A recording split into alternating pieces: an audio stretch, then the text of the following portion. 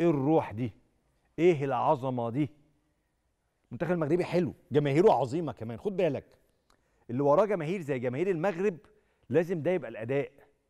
جماهير المغرب النهارده مالية المدرجات مالية المدرجات. هتافات جماهير المغرب أنا لما كنت بروح أحضر مباريات في المغرب تنظيمهم وصوتهم اللي مع بعض وصوتهم ال- القوي جدا في الهتافات تفاصيل صغيرة ممكن تتخيلها بس بتدي حافز وحماس للاعبين مدهش. لو انت قاعد في المدرجات أصلا هتتحمس هتبقى نفسك تنزل تلعب.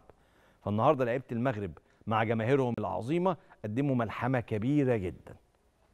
كبيرة جدا. المغرب على وشك الصعود لدور ال 16 وعن كل استحقاق وجدارة. في مجموعة في منتهى الصعوبة.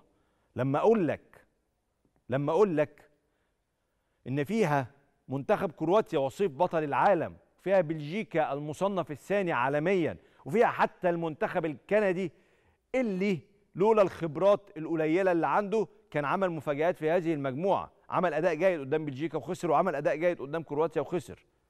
فهي المجموعة في منتهى الصعوبة. طيب